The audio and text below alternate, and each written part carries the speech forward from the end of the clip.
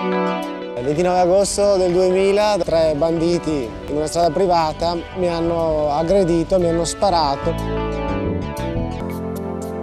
Andrea presentava una paraplegia, quindi una lesione a carico del midollo spinale che coinvolgeva il deficit totale degli arti inferiori. La tua vita eh, si modifica a tal punto che tu devi capire ti deve essere insegnato come riorganizzare, come poter ricrearti una situazione di autonomia. Lo spirito di Stella è un'imbarcazione che vuole innanzitutto condividere con altre persone che hanno avuto delle problematiche, anche con persone invece che non hanno nessun tipo di problema, il mare.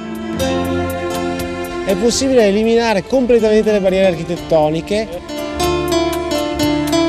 Nessuno l'aveva mai fatto, Andrea è riuscito a creare una barca per tutti. Credo che se si riesca a modificare un'imbarcazione pensando affinché questa imbarcazione possa essere utilizzata da qualsiasi persona, sia molto più semplice poter pensare di modificare tutta la nostra civiltà, tutta la nostra società.